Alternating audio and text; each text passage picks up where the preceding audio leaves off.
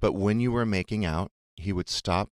And what are some of the things he would say to you? Such a sweet girl. And then he would go back to kissing you. Such a nice girl. Uh, my gorgeous girl. How long did you date him? So we dated for about six weeks. Would you spend the night? Yes. Nice. I spent the night one night. So I'm at his house getting ready for the day. It's around like Because 10 he left already. Yeah, he left already. Said lock up, lock it up when you leave. Yeah. He, Okay. I'm getting ready at his house. It's around 10:30 and there's this dinging going off. It's coming from his iPad. It says a calendar event, summer 2022 party at Exotic Dreams Resort. It's a fucking swingers resort. Oh, I got to figure out if this is legit. yeah, yeah, yeah. So I text the resort and I say, "Hi there.